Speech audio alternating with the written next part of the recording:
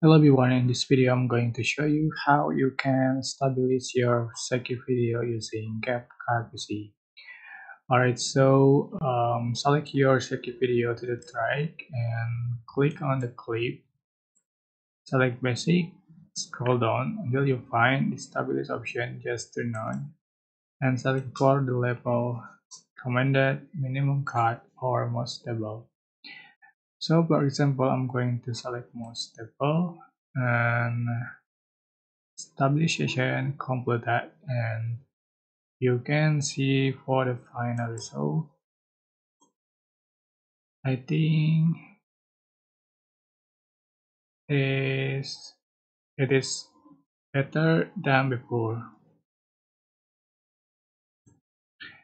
So this is super simple and I hope this tutorial was helpful for you. Don't forget to like, comment, share and also subscribe. If you have any question, please leave it in the comment section down below. Thank you so much for watching.